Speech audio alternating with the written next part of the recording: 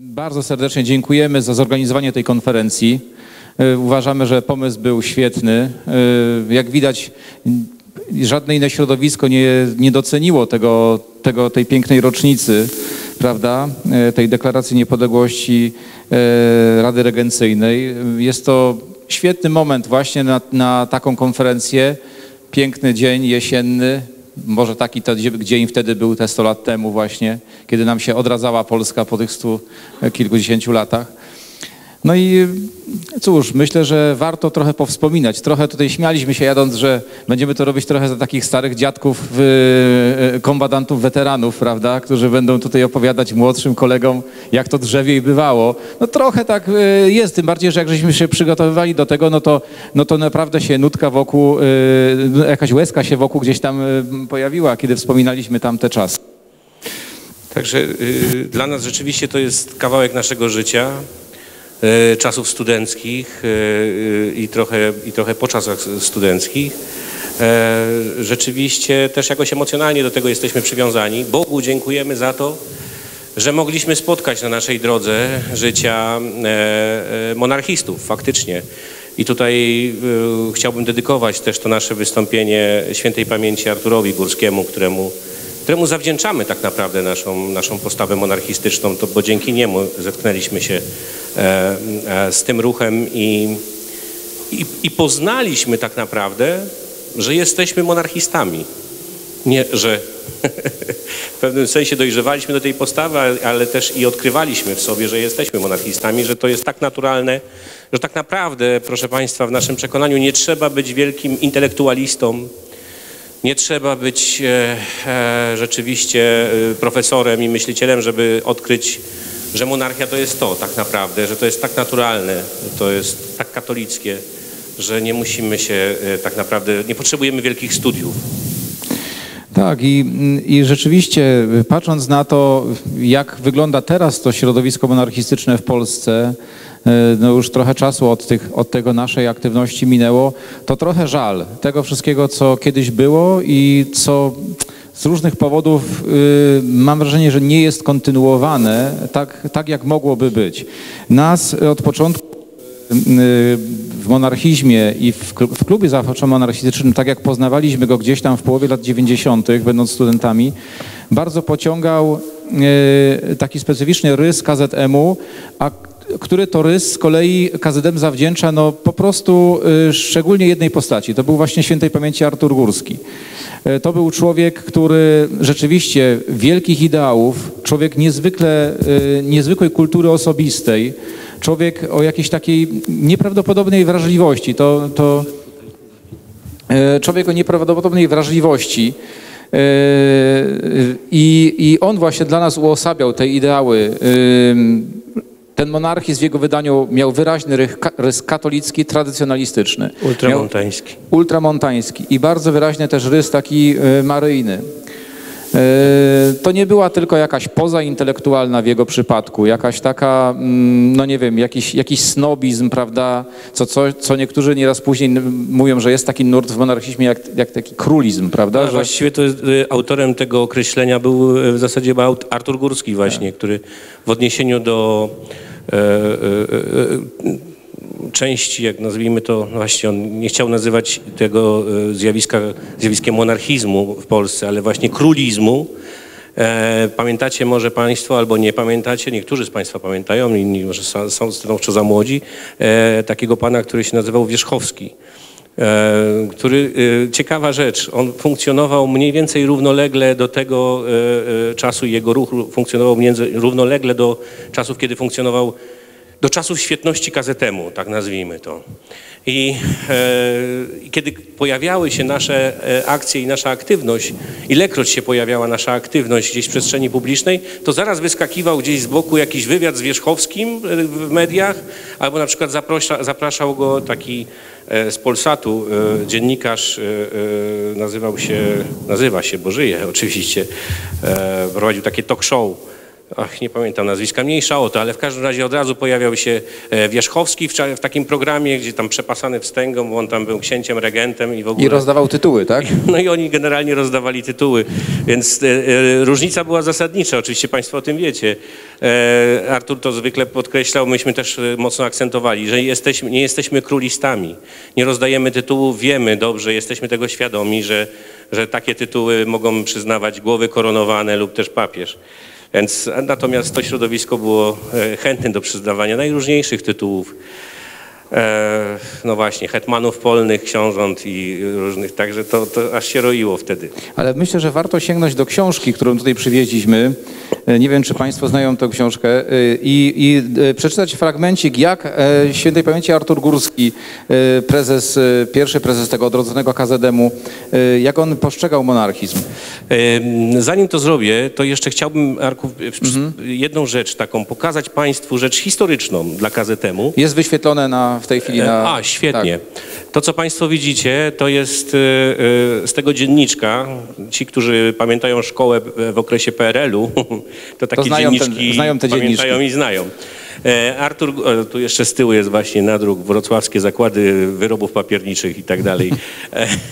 E, e, Szary zeszycik, e, którym e, Artur Górski w czasach liceum e, tak naprawdę zapisywał i zrodził się wtedy w jego głowie i, e, i formalnie, e, czy formalnie, mniej formalnie, bo nie mogło się w czasach komuny tam e, jakaś organizacja zrodzić. Proszę Natomiast- przeczytać pierwszy zapis w tym dzienniczku. Jaka to jest data? tak, to jest dzienniczek, który jest podpisany Młodzieżowy Ruch Oświaty i Kultury Niezależnej, w skrócie MROK.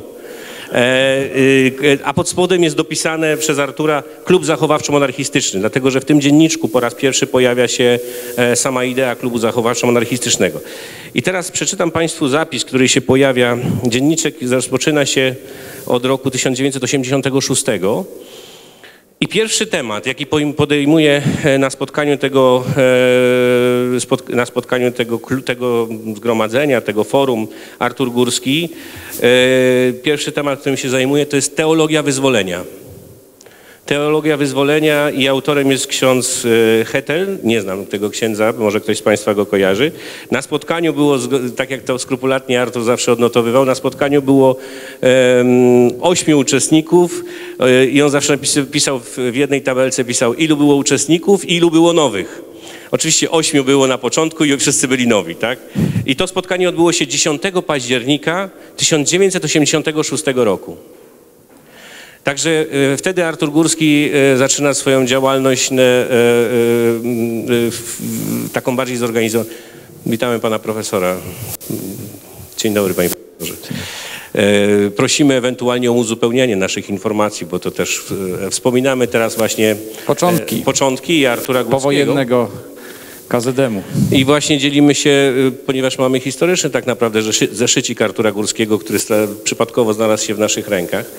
E, No a i dzięki Bogu go możemy zaprezentować. No i teraz proszę Państwa, ten pierwszy temat, który, który Artur wziął na, na, na spotkanie, to była teologia wyzwolenia. To ciekawa rzecz z racji tego, jak później też i nasze losy się toczyły, bo, e, bo gdzieś ta teologia wyzwolenia ciągle się e, powraca jak bumerang. I w tym oto zeszy- zeszyciku, który właśnie jest najpierw jako zeszycikiem czy dziennikiem mm, młodzieży, młodzieżowego ruchu oświaty i kultury niezależnej, pojawia się właśnie ten oto, ten właśnie, e, macie to Państwo na, na, e, na, moni- na, na mm, ekranie, Organizacja Ruchu Konserwatyści Monarchiści i tutaj um, ta organizacja opuszcza e, e, grupę Mroku, napisał Artur.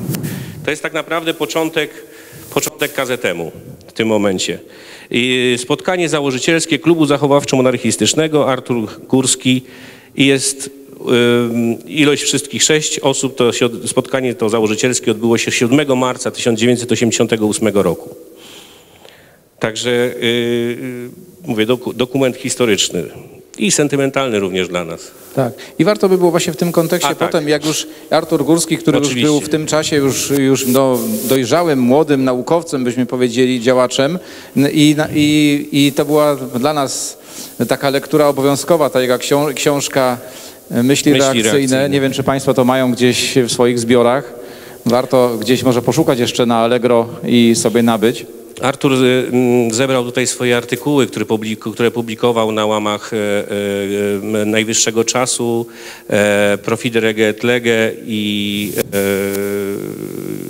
jeszcze... Myśli, myśli polskiej chyba. Myśl, myśli polskiej, jeśli tak, chyba tak. I te, przeczytam Państwu e, dwa fragmenty z tego, e, z jednego z artykułów Artura, e, zatytułowanych Konserwatyzm.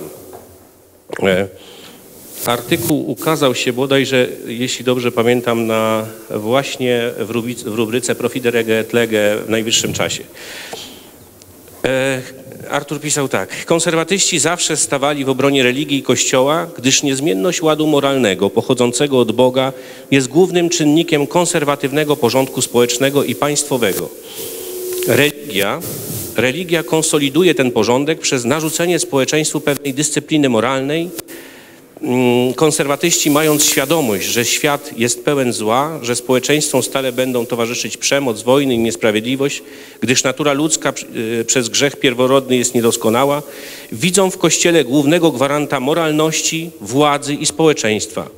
Dlatego też żądają, aby religia katolicka była panująca w państwie polskim, by była najwyższym czynnikiem i hamulcem moralnym w życiu społeczeństwa, by wreszcie, gdy zlaicyzowane przez komunizm społeczeństwo choruje na kryzys wartości, dawała mu te wartości. Jednocześnie przez fakt, że cywilizacja, w której jesteśmy zakorzenieni jest chrześcijańska, katolicyzm jest najpewniejszym gwarantem utrzymania narodowej tożsamości. I jeszcze jeden krótki fragment na potwierdzenie tego, że Artur właśnie nie był królistą, ale monarchistą i e, e, rzeczywiście e, przywiązanym do porządku hierarchicznego.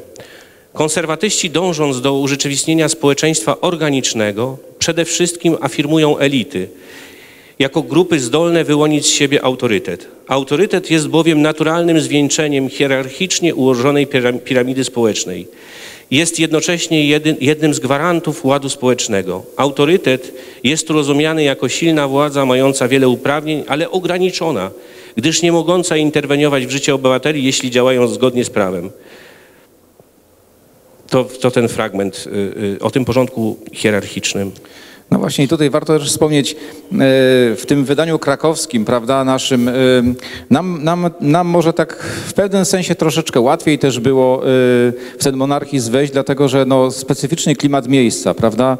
Wiadomo, że Kraków jest takim miejscem, miejscem no, dla chyba monarchisty polskiego, każdego bardzo, bardzo szczególnym. Również dziedzictwo CK monarchii, które w przeciwieństwie do innych zaborów, na przykład do kongresówki, no te wspomnienia, prawda, tych, tych ostatnich kilkudziesięciu dniach, lat istnienia e, CK monarchii, no to konserwatystom w Galicji, yy, no to raczej się dobrze kojarzą, prawda.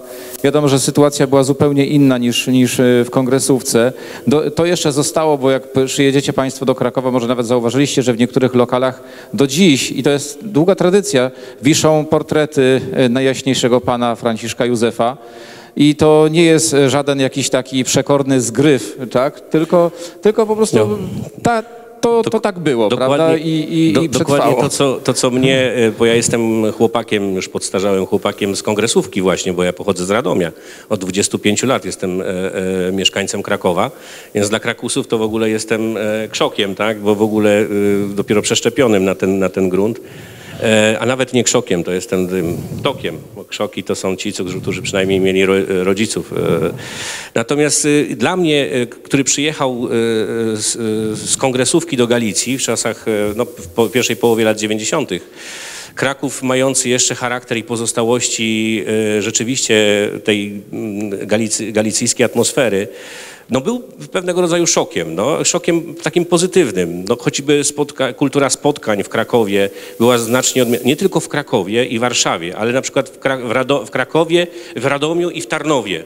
To, są dwa, to były dwa różne światy. Teraz to się zmienia bardzo szybko, bo ludzie migrują, e, przemieszczają się i wraz z nimi e, również sposób spędzenia wolnego czasu. Ale wtedy, na początku lat 90., to było bardzo wyraźne. Radom, Warszawa w sobotę i w niedzielę to jak miasta, to wyglądały jak miasta, które y, po wojnie jakiejś, że tam cisza, nikogo nie ma, y, y, nikt nie, na, na ulicach się, lokale na przykład w Radomiu zamykane tam gdzieś koło godziny 18, 19 i koniec. Natomiast kongresówka, kongresówka Galicja, Kraków, Tarnów, jak ja zobaczyłem w latach 90. e, e, ulice gwarne i ludzi spędzających czas na, w kawiarniach, to było dla mnie coś zupełnie nowego. Zrozumiałem, że, że to jest inny klimat. A do tego jeszcze, do tego jeszcze te portrety Franciszka Józefa, e, w różnych lokalach, miejscach, gdzie, e, e, gdzie wchodziliśmy jako studenci. E, Kiedy opowiadałem to moim rodzicom i moim znajomym w Radomiu, że wyobraźcie sobie, że cara e, Mikołaja by tak wie- wieszali na ulicach, e, gdzieś tam w, w, tych, e, w kawiarniach jego portrety, no było to szokujące, prawda? No, dla, dla, ja dlatego pokochałem rzeczywiście Galicję za, za, to, za to podejście e, i, i za ten klimat.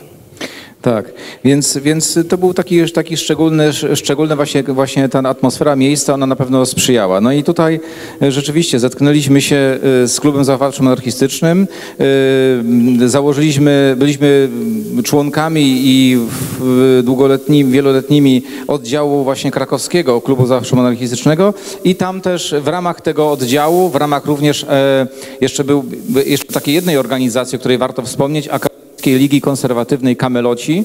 I te dwie organizacje oraz inne środowiska również konserwatywne, gdzieś tam z okolic, z okolic UPR-u, prawda, em, razem zrobiliśmy naprawdę, jak, jak to teraz oglądaliśmy właśnie te wycinki prasowe, które tutaj w holu możecie Państwo y, y, zerknąć na nie, no to całkiem sporo rzeczy się udało zrobić, prawda? Tutaj teraz na ekranie widzicie, y, myślę, że takim jednym z największych wydarzeń, jakie, jakie mamy na, na, naszym, na tym naszym koncie, to, to środowisko, to jest właśnie Dzień Kontrrewolucji, który odbył się 9 marca 1997 roku.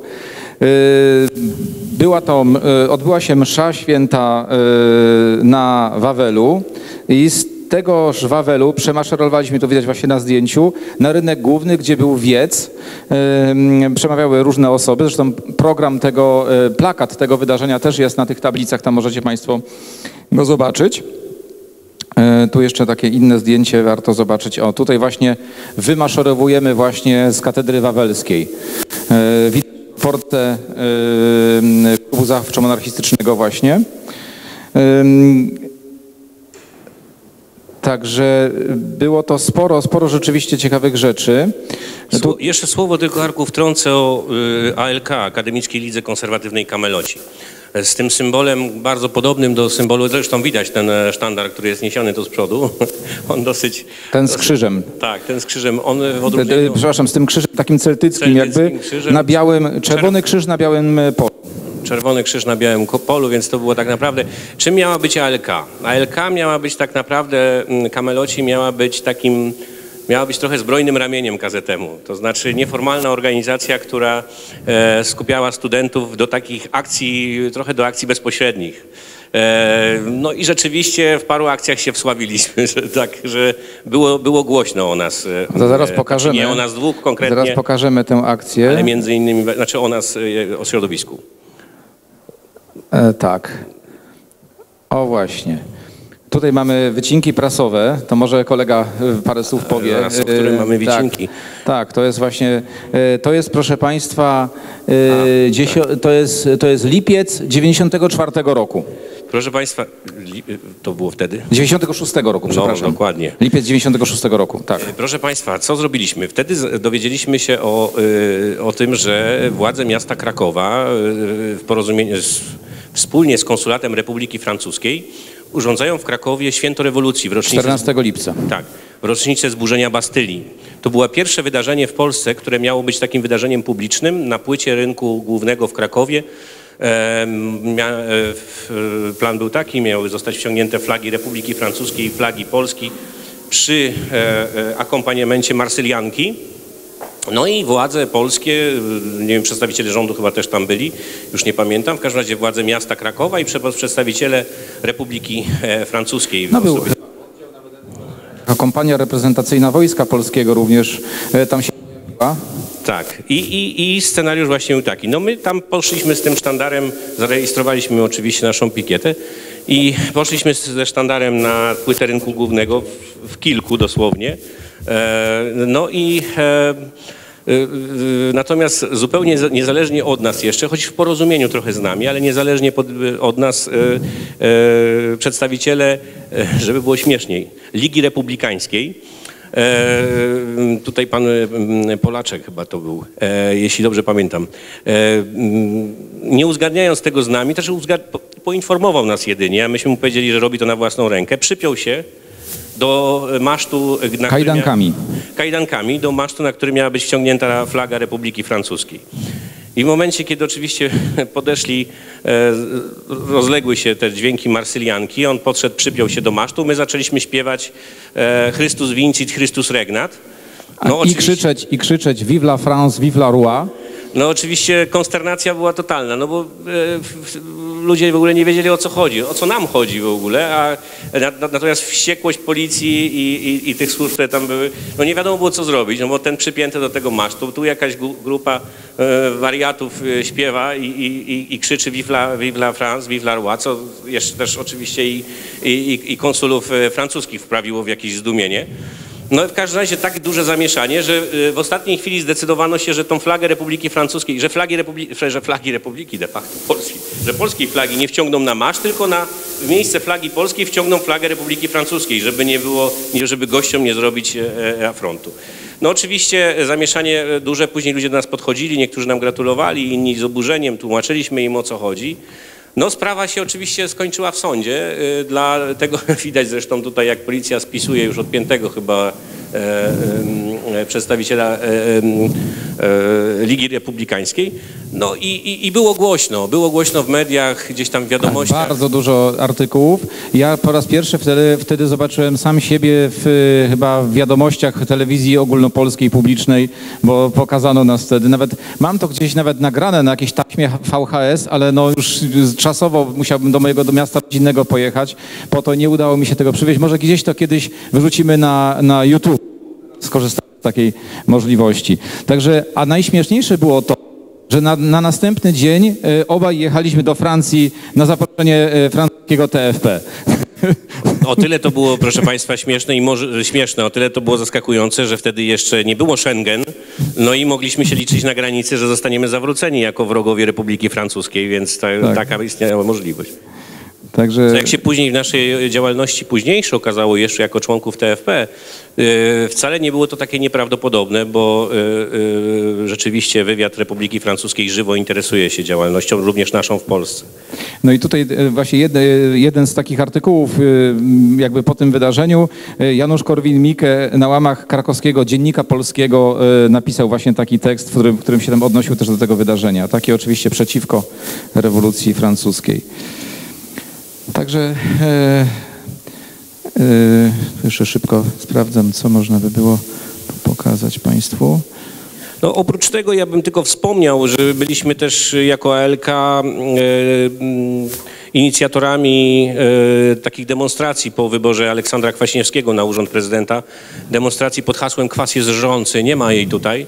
E, I e, także to, to też później jeszcze braliśmy udział w takiej ogólnokrakowskiej demonstracji. No długo by o tym opowiadać. W każdym razie e, no, no to też, też ciekawe przeżycie. No, jedną z takich, kolejną taką sprawą, może bardziej rzeczywiście humorystyczną, to była, a jednocześnie poważną, gdzie ALK, to była nasza, nasz sprzeciw wobec projektu konstytucji, która notabene teraz obowiązuje. E, Projektu konstytucji, e, która wyszła e, oczywiście spod piór ówczesnych działaczy wtedy już Unii Wolności. Tak, żebym się nie pomylił, tak? To jeszcze już, no to już Unia tam, Wolności, wiadomo, to nie Unia pamiętacie państwo, Demokratyczna. Że no kwestia preambuły, y, prawda, no tutaj to, to, to niby salomonowe rozwiązanie y, y, nieżyjącego już Tadeusza Mazowieckiego i, i to, były, to był ten klimat, prawda? W każdym razie demonstracja no, trochę nam e, nie doszła do skutku w takim, e, e, w takiej skali, jak zamierzaliśmy. Pomysł był taki, żeby m, przeprowadzić na no, taki no, studencki pomysł, może trochę naiwny i trochę może taki obrazoburczy, ale ubraliśmy, chcieliśmy ubrać świnkę, taką żywą świnię, świnkę, w prosiaka w, w, we flagę Unii Europejskiej. On miał wejść na, to miało wejść na rynek. No ale, ale Tymon Nowina-Konopka, który ulicą Szewską miał w meloniku i we fraku, szedł z tą świnią na sznurku, utknął gdzieś po drodze, bo świnia strasznie zaczęła kwiczeć, jakby przeczuwając być może, że zostanie w jakiś Tak, my tą, my tą świnkę na, na rynku słyszeliśmy tam gdzieś z początku ulicy Szewskiej, jak ktoś kojarzy tam od strony Teatru Bagatela, to było ją słychać, bo tak strasznie wrzeszczała. Tymon został zatrzymany przez policję y, pod zarzutem, już wtedy się pojawiły ekologiczne jakieś klimaty i został zatrzymany pod zarzutem znęcania się nad, nad zwierzęciem. Został zatrzymany razem ze świnią, wprowadzony na komisariat y, y, na rynku głównym. Po czym, po czym usiłowano go wyprowadzić, ale osobno wyprowadzić Tymona i osobno spisano pierwsze zeznania i mieli go przewieźć gdzieś na inny posterunek. Osobno przepro chcieli przeprowadzić świnię, osobno Tymona. Tymon się uparł i mówi, że on, świni, że on ze świnią musi jechać razem, bo on nie wie, co tej świni możecie zrobić i później może to spaść na niego, konsekwencje tego, tego co zrobić. Więc to była taka ciekawa i zabawna, zabawne perypetie z całym tym, z tym wydarzeniem. Ostatecznie go tam sprawę umorzono, ale Tymon jako student prawa no, liczył się z tym, że może, może ponieść różnego rodzaju konsekwencje. To było dosyć no, wtedy y, no, obrazoburcze dla, dla, dla ówczesnych władz i, no i też dla nurtu, który obowiązywał i obowiązuje nadal na, e, na uczelni, na, na Uniwersytecie Jagiellońskim, zwłaszcza na Wydziale Prawa. Także tutaj też jeszcze pokazuję Państwu, naprawdę sporo ukazało się też takich artykułów. To jest na przykład to tak zwane życie wołkowe, jak to się dawniej mówiło, prawda? E, artykuł Prezes demokracją niech żyje król, gdzie tutaj obszernie też e, prezentowano właśnie w związku z tym, z tym świętem kontrrewolucji idee, nasze, nasze idee naszego środowiska. E, wcześniej widzieli Państwo wywiad z naszym kolegą Jerzym, Jerzym e, redaktorem też e, Polonii Christiana na temat monarchii. Także było tego całkiem sporo. Jedna, jedna taka ciekawa historia. Kiedyś poprosiliśmy o audiencję świętej pamięci, o audiencję u świętej pamięci kardynała Macharskiego. Jako monarchiści oczywiście. Długo nie mogliśmy się dostać, nie, nie udawało nam się. W końcu dostaliśmy się na tą audiencję do kardynała Macharskiego. Usiedliśmy, Jerzy Wolak tam był, ja i chyba Piotr Dere. Y, usiedliśmy na tej audiencji. E, ksiądz kardynał zaczął tak. To wy jesteście tymi monarchistami, tak? Tymi, ale mówi tak, tymi od trzech króli, tak? Mówimy, a Jerzy od razu mówi tak, tak, jesteśmy monarchistami, bo Polska jest monarchią, bo ma przecież swoją królową. I trochę kardynał tak się e, e, zdziwił, że, że, że w te tony uderzamy.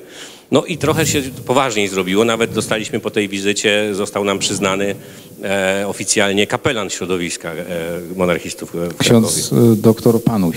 Tak z Krakowa. Także, y, ale też równocześnie w tych latach, w tych latach, w latach 90. jeszcze, jeszcze na, na samym początku tej naszej działalności żył y, profesor Plinio Correa de Oliveira, założyciel y, Stowarzyszeń Obrony Tradycji Rodziny i Własności. I i właśnie dzięki klubowi zachowawczo-monarchistycznemu poznaliśmy przedstawicieli właśnie TFP. Konkretnie pana Leonarda Przybysza, który, y, którego profesor Plinio Correa de Oliveira wysłał z misją y, rozpoznania tutaj sytuacji w Polsce, czy udałoby się również w Polsce taką działalność właśnie TFP zorganizować. I już w latach, już gdzieś tam w okolicach 94-5 roku udało nam się, udało nam się właśnie zapoznać i od początku nasze środowisko było pod dużym wpływem Y, właśnie tych y, y, TFP i myśli profesora Oliveira. Myśli, którą, którą Państwo też możecie się zapoznać, bo na biurku tutaj, na stoliku przed wejściem do sali jest książka Rewolucja, kontrrewolucja. To opus magnum profesora Oliveira. Tak, także jak Arkadiusz wspomniał, yy, olbrzymi wpływ na to środowisko krakowskie i bezpośrednio, również i, i zaangażowanie personalne yy, myśli profesora Plinio Correa de Oliveira i tego, co wyraził w rewolucji i kontrrewolucji. Yy, ale też przeszedłbym od razu już do tego, bo mamy niewiele tak, czasu, tak. przeszedłbym do tych mm, naszych losów jakby po, e, e, już po pojawieniu się TFP w Polsce i po tym, jak zaangażowaliśmy się w tą działalność. Niemalże wszyscy ze środowiska e, krakowskiego KZM-u związaliśmy się z, z, rzeczywiście ze środowiskiem obrony tradycji, ruchu obrony tradycji rodziny i własności. Dzięki niemu powołaliśmy i z inspiracji TFP powołaliśmy Stowarzyszenie Kultury Chrześcijańskiej księdza Piotra Skargi w Krakowie w 1999 roku. E, I znów pojawia się tutaj kolejna postać, nieprzypadkowo, ksiądz Piotr Skarga. Ksiądz Piotr Skarga e, nie jest przypadkowo patronem, tak jak powiedziałem, patronem naszego środowiska. E, Kaznodzieja królew- królewski Zygmunta III Wazy, monarchista, obrońca porządku katolickiego, hierarchicznego e, i obrońca katolickiej monarchii. E, Żołnierz, szermierz kontrreformacji, e, wielki przeciwnik e, oczywiście rewolucji protestanckiej, który zadał jej dotkliwe ciosy, działając oczywiście w ramach zakonu jezuitów. No długo by to trzeba by osobny oczywiście wykład mu poświęcić i to albo nie jeden. Dzięki Bogu trwa jego proces beatyfikacyjny, także możemy o nim już mówić od paru lat sługa Boży. E, Także to jest ta kolejna, e, kolejna postać, która się pojawia i w tym duchu skargowskim również e, ten rys skargowski ma środowisko krakowskich monarchistów do dzisiaj skupionych wokół TFP. Tak, więc ta y, cechą charakterystyczną jest to również, że y, cechą charakterystyczną jest to, że y, za Pliniem i również wcześniej za naszymi jakimiś takimi fascynacjami czy intuicjami y, to nasze środowisko bardzo mocno akcentuje y, y, przywiązanie do, do kultu maryjnego. I to bardzo dobrze właśnie się zbiega z tym faktem, że tak jak tu kolega wspomniał, y, Matka Boża jest królową Polski i to nie przez y, to, że ktoś sobie tam, nie wiem, wymyślił, czy tak gdzieś napisał jakiś publicysta, ale wiemy, że, y, że ona została tą królową na mocy oficjalnego państwowego aktu. Więc to jest bardzo ważny aspekt. Myślę, że my wszyscy konserwatyści, kontrrewolucji, my, kontrrewolucyjni musimy o tym pamiętać. Proszę Państwa, yy, yy, słów parę jeszcze o tym, jak w tej chwili te idee monarchistyczne są przez nas realizowane. Oczywiście yy, poprzez naszą działalność wydawniczą, publicystyczną staramy się to czynić. Jednym z wyrazów tego był oczywiście numer Polonia Christiana Powrót Króla który poświęciliśmy yy, w temacie numeru właśnie yy, dlaczego jesteśmy monarchistami, dlaczego... W cenie promocyjnej za 5 zł można ten numer sobie nabyć na stoliku. zachęcamy do tego. Również takim uważam milowym krokiem propagowaniu myśli monarchistycznej, choć wprost nie jest to wyrażone w sensie w tytule nie jest to wyrażone, aczkolwiek jest to wielka promocja porządku hierarchicznego, katolickiego porządku cywilizacji chrześcijańskiej. To jest książka Organicznego porządku. organicznego, tak jest, to jest książka, książka księdza Henry'ego de Lassis, e, Duch rodzinny w domu, w społeczeństwie i państwie. Warto e, tą, ks- tą, książkę, tą książką się zapoznać, dlatego że tak naprawdę to są podstawy monarchii. To jest to, co każdy katolik powinien wiedzieć, jeśli e, podstawy monarchizmu. Tak naprawdę to są podstawy społeczeństwa katolickiego. To jest cywilizacja chrześcijańska w pigułce. Jak rodziła cywilizacja chrześcijańska? Dlaczego porządek monarchii, dlaczego monarchizm, dlaczego porządek hierarchiczny jest właściwy jedyny właściwy dla cywilizacji chrześcijańskiej? Mało tego, to jest książka na nasze czasy, choć powstała na przełomie XIX i XX wieku. Przepraszam, na początku XIX wieku. To jest książka, która broni tradycyjnego modelu rodziny, a przede wszystkim jeszcze to jest książka, która podkreśla rolę męża i ojca w rodzinie.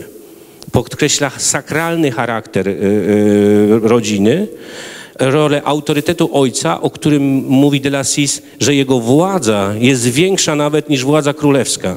I że władza królewska Władza i autorytet króla rodzi się, że wyrasta wprost z rodziny.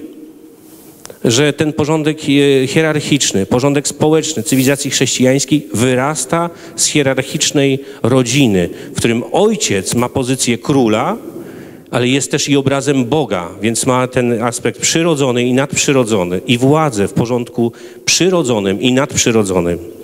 Zachęcam do I warto o tym książki. pamiętać, bo właśnie w naszych czasach, na naszych oczach yy, ulegają niezwykłej degradacji dwie ostatnie monarchie tak naprawdę, czyli papiestwo i rodzina. Proszę zauważyć, że, że jest wściekły atak w tej chwili na właśnie te dwie monarchie. Jeśli to padnie, jeśli to zostanie zniszczone, cały porządek społeczny y, y, będzie zniszczony. Oczywiście wiemy, że Kościół, że ta monarchia w sensie y, papiestwa nie, nie zginie, dlatego że Kościół będzie trwał wiecznie, natomiast przechodzi niezwykle, niezwykle poważny kryzys w tym momencie. Co, no, wspomniemy chyba też jeszcze o takich, o tych... O tych przykry, przykrych stronach. Więc e, proszę Państwa, niestety po odejściu Artura Górskiego, e, po jego rezygnacji z funkcji prezesa, a później dalej jeszcze po jego pójściu, e, przejściu jakby w, w sferę polityki, no, e, z naszej perspektywy możemy, możemy polemizować oczywiście. Niestety klub skręcił w bardzo dziwne strony i w bardzo dziwnym kierunku podążył. W takim, w którym my już nie mogliśmy się dłużej też utożsamiać z klubem zachowawczo-monarchistycznym. Ważniejsza dla nas była sama postawa monarchistyczna od przynależności e, e, jakby klubowej i organizacyjnej. Nie da się ukryć, że pewnego rodzaju dziwne e, umizgi do, e, do towarzyszy e, z PRL-u, takich jak generał, e, generał Jaruzelski, jakieś dziwne wywiady niektórych członków KZM-u z, e, e, z tymi osobami, szukanie w nich jakichś e, katechonów, e, nie wiem, czego tam jeszcze.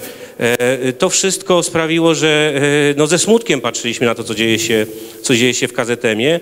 Jakby takim kamieniem ostatnim, już nie kamyczkiem do ogródka było to, że klub po latach za pośrednictwem swojego organu, to jakim było Profidere Lege, kiedy w jednym z numerów w, roku 96 opisywał, przypominał postać e, założyciela TFP, Plinio Correa de Oliveira, po latach już pod nowymi rządami zaatakował tego samego e, e, człowieka w tekście właśnie o e, konserwatyzmie w wydaniu południowoamerykańskim. Smutne to było dla nas, zwłaszcza, że koledzy, którzy, kolega, który to zrobił, e, współpracował z nami i e, brał udział w promocji książki e, Krzyżowiec XX wieku. To on prosił, żebyśmy taką, e, e, taką, takie spotkanie zorganizowali. Mniejsza o personalia. W każdym razie e, wydało nam się e, to e, wszystko bardzo smutnym i do dziś, do dziś z wielkim e, żalem patrzymy na to, co, co stało się z KZM-em, z tym większą nadzieją, patrzymy na to, co Państwo, e, że Państwo jesteście tutaj młodzi i gotowi do, do podjęcia tego sztandaru, e, jakby porzuconego sztandaru tak naprawdę e, i bycia kontynuatorami tych wielkich, wielkich monarchistów polskich. Tutaj jeszcze chciałem koniecznie zwrócić uwagę na obecnego tutaj pana profesora Jacka Bartyzela, któremu serdecznie dziękuję i dziękujemy. Dziękujemy serdecznie. Również w imieniu środowiska krakowskiego za, za to, że, e, że był dla nas zawsze ideowym wzorem e, i e, też pan profesor No Jest pan profesor naszym, pro, ma, naszym profesorem, bo nas Tak jest. pan uczył Dokładnie, możemy się uważać i uważamy się no. też za uczniów pana profesora. Też e, mm, może państwo wiecie o tym, pan profesor napisał wstęp do Krzyżowca XX wieku, e, mm, książki, biografii autorstwa Roberta tej poświęconej Plinio Correa de Oliveira, de Oliveira i pan profesor właśnie zechciał e, napisać wstęp do polskiego wydania, za co też serdecznie dziękuję. E, Rzecz, który, rzeczy, o których powinniśmy Mm. O tych błędach i wypaczeniach można by było długo mówić. Takie główne rysy, które nam przeszkadzały. Jakiś niesamowity, e, e, jakiś tak niesamowity. Wpływy jakichś pogańskich, e, czy jakiejś pozostałości po, po, po jakichś pogańskich e, myślach.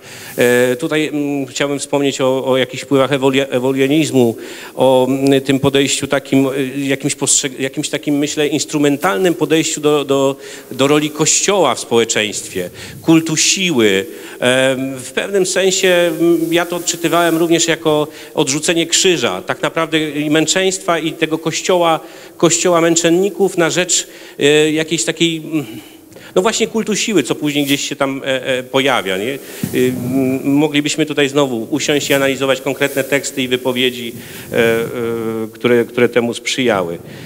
E, Nie, nie, to, nie, to nie była nasza droga. E, To nie jest tak, że Kościół jest narzędziem do, do sprawowania władzy. E, Jak mówi ksiądz Skarga, to Kościół dzieli się swoją władzą z królem. To Kościół namaszcza monarchę i, król, y, i Kościół nie jest sprężyną, dla, sprężyną władzy dla monarchy. Kościół jest tym, który właśnie, który użycza swojej władzy monarsze. I w, obrzędzie koronacyjnym królów mamy do czynienia niejako, mówi ksiądz Skarga, z takimi zaślubinami króla za ślubinami króla z narodem czy z, z poddanymi, y, pod oczywiście tą opieką e, Kościoła, który, który jest tym, który jest papierkiem lakmusowym dla, dla władzy królewskiej. To, y, to, jest, to jest nasze ultramontańskie pod- podejście, któremu chcemy być wierni. Także myślę, że e, właśnie w tej perspektywie, e, w tej perspektywie e, ultramontańskiej, czyli przywiązania do Kościoła, przywiązania do jego tradycyjnej doktryny, powinniśmy śmiało patrzeć w przyszłość i kontynuować to dzieło. Zachęcamy do tego serdecznie wszystkich Państwa. E, Na ile kto może, jest to, jest to wspaniała, myślę, przygoda mm, e, i intelektualna, i, i bardzo taka emocjonująca nawet. Ym, Tym bardziej, że mamy to zapewnienie e, wygłoszone przez samą Matkę Bożą w Fatimie w 1917 roku, że w końcu jej niepokalane serce zatriumfuje. No, triumf, triumf Maryi na pewno będzie również triumfem cywilizacji chrześcijańskiej, a cywilizacja chrześcijańska, jak to opisał pięknie profesor Plinio Oliveira, musi być cywilizacją hierarchiczną, a więc cywilizacją monarchiczną. Także na pewno czeka nas wielki powrót króla. Musimy sobie, proszę Państwa, uświadomić, że ta walka nie jest tylko walką polityczną. To nie jest walka ideowa e, tylko i wyłącznie, odbywająca się na, na, zasadzie jakichś e, taktycznych sojuszy, politycznych e, rozgrywek. Nasza walka jest w istocie walką religijną. Jest walką o porządek sakralny, bo taki jest porządek cywilizacji chrześcijańskiej. Porządek sakralny, hierarchiczny, w którym Kościół katolicki ma, ma dominującą pozycję. I przytoczę fragment z, z profesora Plinio Correa de Oliveira. W- Jeszcze, żeby było jasne, monarchia jest tylko zwieńczeniem tego hierarchicznego porządku w cywilizacji chrześcijańskiej. Ona nie jest celem samym w sobie. Monarcha jest tym, który jakby zwieńcza już ten, ten porządek e, hierarchiczny, jak mówię, katolicki, porządek sakralny. Profesor Oliveira pisze, oto nasz cel, nasz wielki ideał. Zmierzamy ku cywilizacji katolickiej, która ma powstać na ruinach dzisiejszego świata. Podobnie jak cywilizacja średniowiecza zrodziła się na ruinach świata rzymskiego. Zmierzamy do realizacji naszego ideału z tą samą odwagą, z tą samą wytrwałością, z tą samą wolą przezwyciężenia wszystkich napotkanych przeszkód, z jaką krzyżowcy podążali ku Jerozolimie. Bo skoro nasi przodkowie zdolni byli oddawać życie dla odzyskania świętego grobu Chrystusa, jak moglibyśmy my, synowie Kościoła, podobnie jak oni, nie pragnąć walczyć i ginąć dla odzyskania czegoś nieskończenie bardziej wartościowego, aniżeli najdroższy grób Zbawcy, a mianowicie Jego królowania nad duszami i narodami, które stworzył i zbawił, aby Go mogły kochać wiecznie. Dziękujemy bardzo. Dziękujemy bardzo.